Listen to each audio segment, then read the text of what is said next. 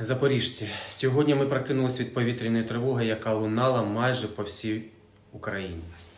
Сподіваюся, що усі ви одразу пройшли до безпечних міст та перебували там увесь час, поки не дізналися про відбій. Ще раз дуже прошу вас серйозно ставитися до сповіщень про небезпеку та дотримуватися усіх необхідних правил.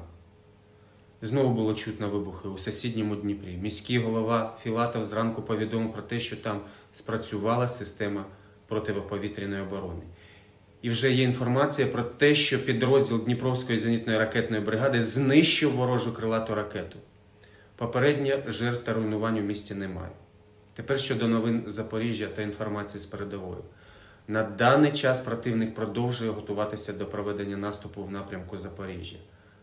Але ворог вже поніс великі втрати, втратив боєздатність і має значні проблеми з резервом. Військові та мешканці нашого краю разом з поліцією, разом з рятувальниками, силами оборони України стримують масовий наступ окупаційних військ. Ми, в свою чергу, постійно працюємо над укріпленням Запоріжжя і робимо його міцною фортецею. В цілому ситуація в окупованих містах та в селах нашого регіону залишається складною. Вороги ведуть себе як терористи.